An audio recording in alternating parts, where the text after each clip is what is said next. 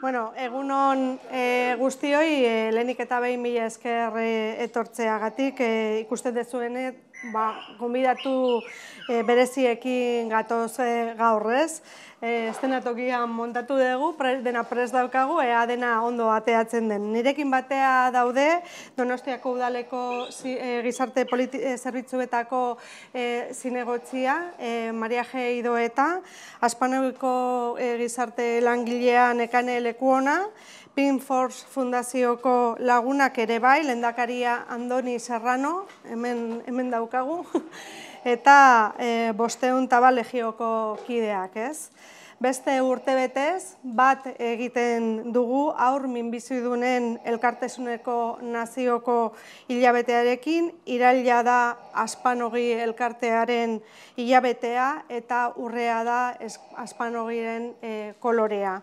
Helburu zehatz eta partekatu bat eh, dugu denok, hemen gaudenok, kontzientziazioan eta sensibilizazioan sakontzen jarraitzea, eta horretarako ekintza ezberdinak eh, antolatu dira irailean. Ez? Nazio arteko kanpainarekin eh, egiten dugu bat, beste urtebetez minbizi, minbizia duten aur eta gaztetxoen alde eta urtero errepaikatzen e, dugu, eta gaur ere bai, bide luzea eginda, bide luzea eginda, asko lortu dugu orain arte, baina ez da nahikoa.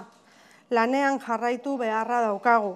Bide horretan sakontzen jarraitzea beharrezkoa da, lortu den guztia oinarri hartu eta etorkizuneko erronkei aurre egiten jarraitzeko ikerketan, ikerketan, prebentzioan, sensibilizazioan, laguntzan, asko daukagu egiteko haindikan alor guzti hoietan. Elkartasuna adierazteko eguna ere badagaurkoa noski zuen ondoan gaude, behar duzuenerako aspanogerekin, familiarekin eta nola ez aurrekin, pireta txiki guzti guztiekin. Gipuzkoako foru aldundia zuen ondoan dago, hemen gaude, aurrera egiten jarraituko dugu, elkarrekin, pausos pauso, erronkei aurre eginez. Aurtengo kanpaina indarra jarriko dugu diskriminaziorik ezean. Edo zein diskriminazioarekin amaitzea eskatu du aspanogik, eta guk noski bat egiten dugu aldarrikapen e, horrekin, ez? Aur guztiek eskubide berdinak izan ditzaten ikasketetan, aurrerago lan munduan, alor guzti guzti guztietan. Minbizia bizi duten aur guraso eta familiek zailtasun gehigarri bat bizi dute, baina aurrek eta familiak dira, beste e, guztiak bezalase horregatik da beharrezkoa besteak beste estereotipoekin ere amaitzea. Egoera bereziak bizi badituzte ere, gaixotasunak ez ditu definitzen eta egoera bere, berezi horrek ere ez luke inolako diskriminaziorik ekarri beharko. Horixe aldarrikatzea da aurtengo helburua decía que el foco de la campaña de sensibilización del cáncer infantil eh, lo ponemos, lo pone eh, Aspanogui y nos sumamos eh, a ello este año en la no discriminación. Niños, niñas, padres, madres, familias que viven el cáncer infantil en sus hogares viven una dificultad añadida, pero son eso, niñas, niños, padres, madres, familias como cualquier otra. Por eso es necesario, más hoy que nunca, acabar con los estereotipos. Aunque vivan situaciones especiales, durísimas, la enfermedad no las define y esas situaciones especiales tampoco debieran suponer ningún tipo de discriminación. Todas y todos podemos poner nuestro granito de arena sumándonos a, eh, este mes de la concienciación sobre el cáncer eh, infantil, rompiendo tabúes, rompiendo estereotipos, luchando ante cualquier tipo de discriminación. Y aunque todos y todas podemos aportar, yo creo que es de destacar la labor que hace la asociación Aspanogui. Eh, ofrecen atención integral a toda la familia, tanto en el hospital como también fuera de él, prestando una especial atención al cuidado de las emociones, habiendo detectado lo importante que son las emociones para hacer frente a esta enfermedad y para contribuir al bienestar de cada persona. Todo ello en coordinación con todas las partes y profesionales que intervienen en los procesos tan duros del cáncer. Además, es algo mm, muy interesante, eh, fomentáis el intercambio de experiencias, el intercambio de sentimientos entre las familias, eh, los niños y las niñas, y esto yo creo que eh, bueno, pues como territorio aporta eh, una riqueza desde luego muy muy grande. ¿no? Y si ello lo aderezamos con el ingrediente tan valioso como es el voluntariado, pues yo creo que ya tenemos eh, una receta desde luego muy eficaz. ¿no? Todas y todos con un mismo fin, con un mismo objetivo, el bienestar de todos los pequeños piratas que luchan a diario por ser lo que son, lo que les toca y lo que, les lo que se merecen, niños y niñas. Es ese, sin duda, el mensaje que queremos hoy transmitir, el de aunar esfuerzos, aunar esfuerzos para seguir visibilizando el cáncer infantil y rompiendo con los estereotipos que persiguen a estas familias, terminando con cualquier tipo de discriminación. Lo repetimos eh, todos los años, eh, aun siendo la tasa de supervivencia eh, alta, hay que seguir luchando, hay que seguir avanzando. En torno a una treintena de casos se detectan en, en Guipúzcoa al año en cáncer infantil y estos pequeños piratas que les ha tocado vivir, que les toca vivir, estas infancias tan duras, se merecen bueno, pues que aportemos todo lo que, lo que tenemos. Y ahí está Aspanogui como valor eh, eh, bueno, pues, eh, valioso siempre a su lado. En el marco de este mes de sensibilización, Aspanogui, como todos los años, y como durante todo el año, pero especialmente en este mes, fomentando la sensibilización, estará por todo Guipúzcoa visibilizando esta, esta realidad. Y además, bueno, pues este año con la participación de la, de la Fundación Tefin eh, Force, con una actividad el 23 de septiembre que no me voy a adelantar porque Nekane y Andoni nos contarán con mayor detalle. Eh, Betty diogu, beti edo askotan esaten dugu Gipuzkoa lurralde solidarioa dala eta alese da. Gutako bakoitza, erakundeak, elkarteak, familiak, gizartea, gure ondartsoa ipiniz minbizia duten aurreta gaztetxoen alde. Tratamendua, laguntza, berotasuna eta maitasuna emateko minbizioa duten aurrei. Horretarako gaude, hemen gauden guztiok, baina baita zuek ere. Ez?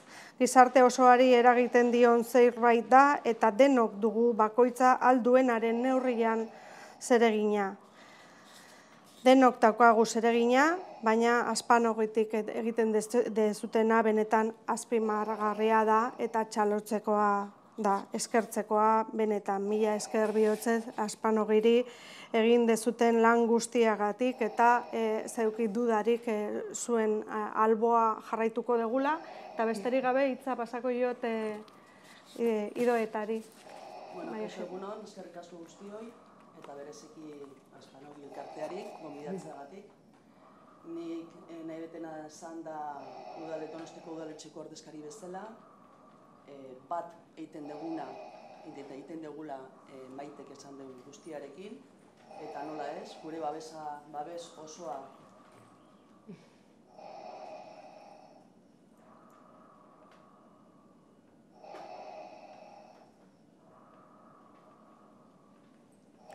Zuzeneko arazoa. Ba, gure babes osoa nola ez eh, gure pirata txikiekin, baita ere bere gurasoekin, zantzaile eta inguru hortan dauden denekin. Eta nola ez, bat egiten dugula baita, eta badakizuten nun gauden, zuen mm. etxea da baita, e, eskerrik asko, egiten dezun lanagatik, aspanogi elkarteari, mila esker. Bai, Nekane orain, zure da bai. Bueno, eskerrak eman beti bezala, ez? Gipuzkoako foru aldonderi maite, tepeina.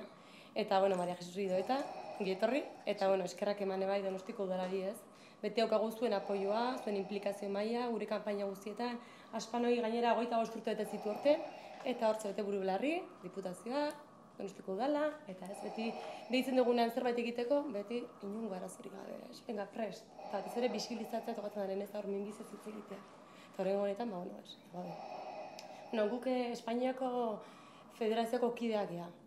Ogoita bi elkarte gaude bertan, eta horten egin dute diali bat, ez? Eh, Azkenen minbizia gainitu duten gaztetxoek, zenbait alorretan, oraindik ere diskriminazioa jasotzen dute.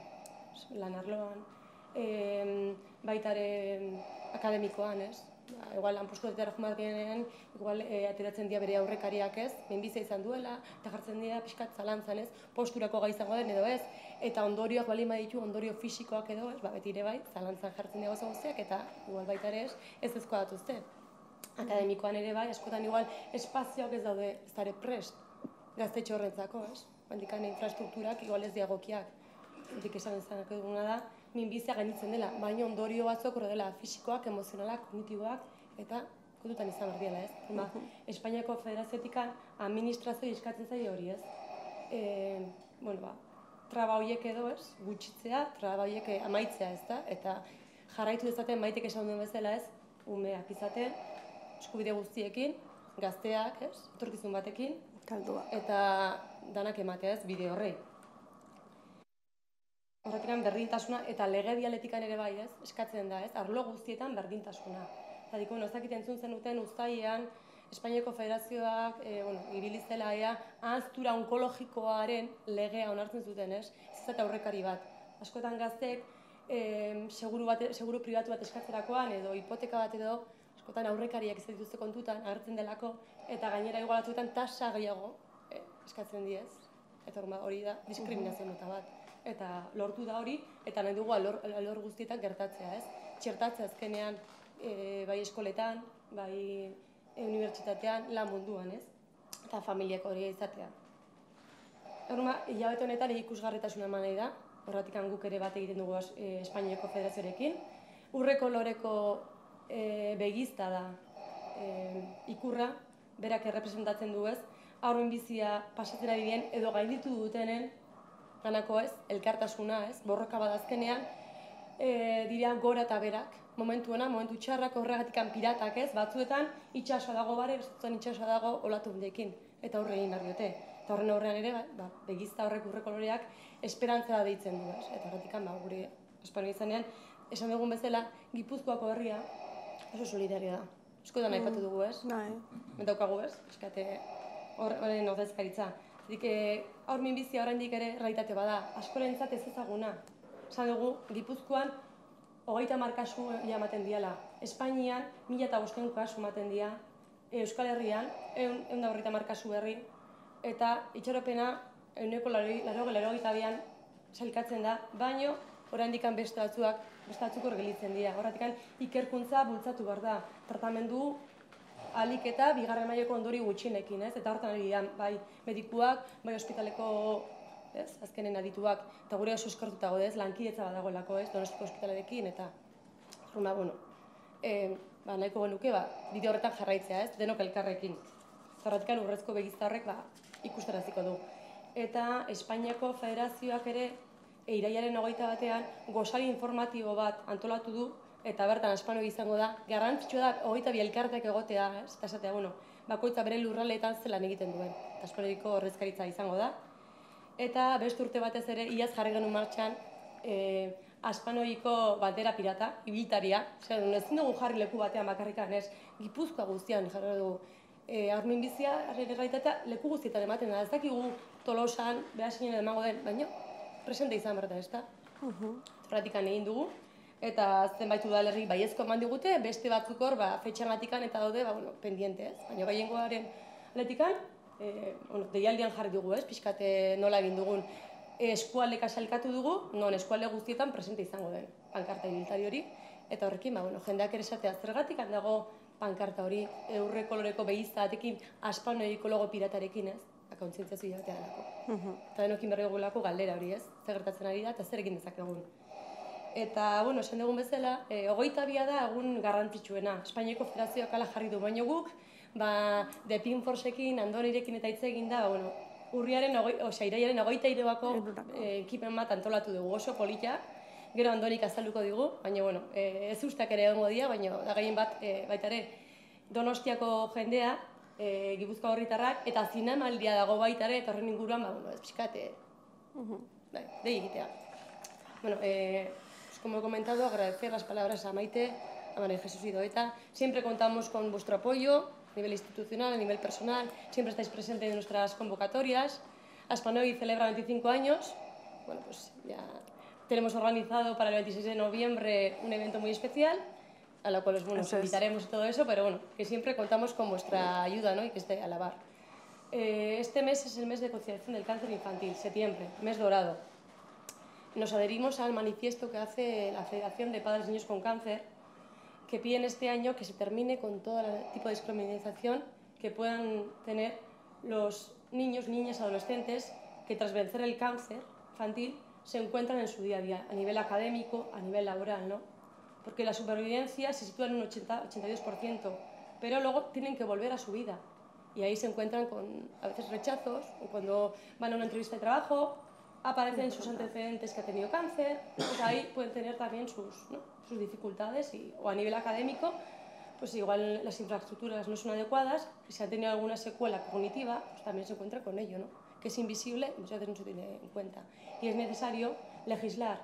Se consiguió, gracias a la labor de Federación Española y las asociaciones que la integramos, eh, la ley de derecho al olvido eh, oncológico.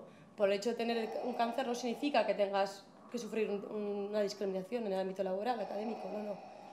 Eh, antes las aseguradoras, a la hora de que un joven de 30 años, por ejemplo, pidiese una hipoteca, pues ya les ponían dificultades, puesto que había tenido cáncer, y bueno, pues que igual les cobraban más tasas, o siempre, ¿no? Los seguros privados eh, les ponían ahí pues, una serie de obstáculos.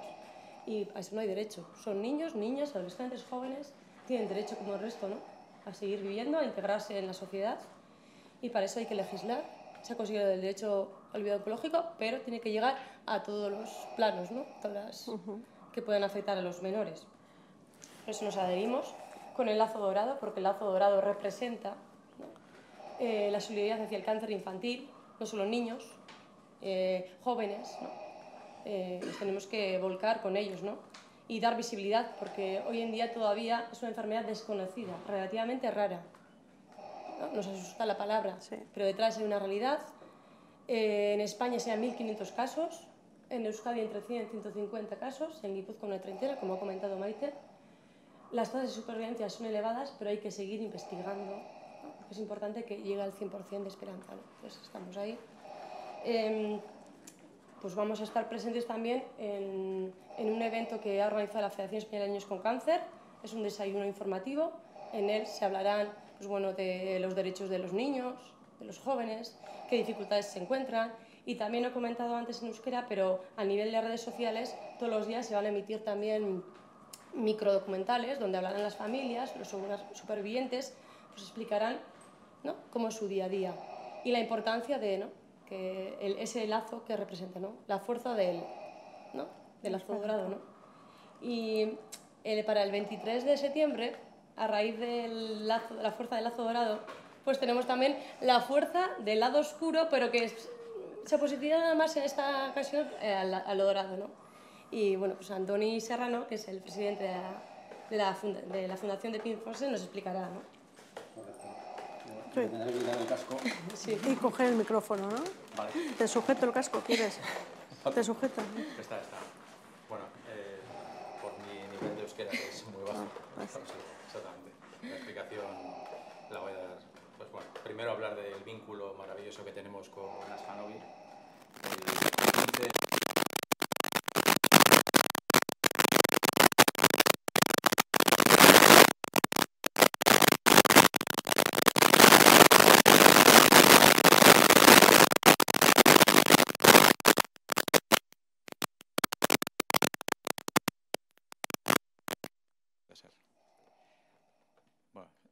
ahora sí. Interferencias, la, tecnología, la tecnología. Vader, Vader está lleno de, electrónica. Ese momento tan precioso para nosotros eh, ha hecho que incluso esta iniciativa, que en un principio era simplemente buena voluntad, se convirtiese en una fundación hace dos años.